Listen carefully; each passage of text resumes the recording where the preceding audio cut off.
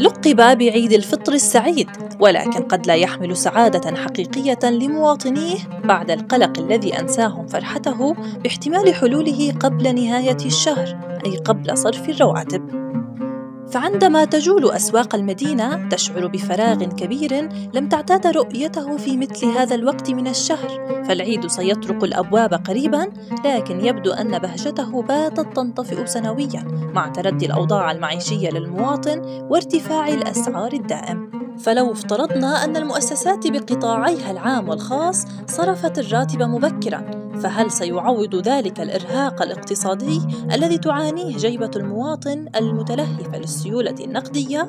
وهل ستتحمل تكاليف العيد خاصة بعد استنزاف رمضان لكل مدخراتهم؟